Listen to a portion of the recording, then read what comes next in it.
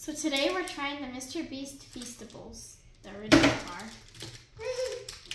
It says it's only four ingredients, so hopefully it's good. And this is how it looks. There's no, it's not divided or anything. Just break a piece off and try it. Mm. I like it. Taste of dark chocolate. Pretty good actually. Mm-hmm. Not bad. 10 out of 10. Okay, we're gonna try the Mr. Beast Feastables chocolate bar. Let's see. You excited to try?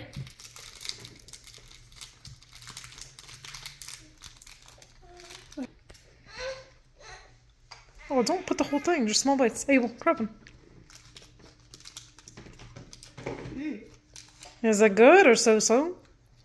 Good. One to ten? Yummy. 10 to 10. Ten out of ten? 10 out of 10. Okay.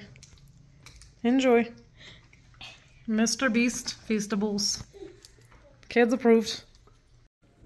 So those are the ingredients that it has, the four ingredients, and it tasted pretty good, like the organic ones. It reminds me of those.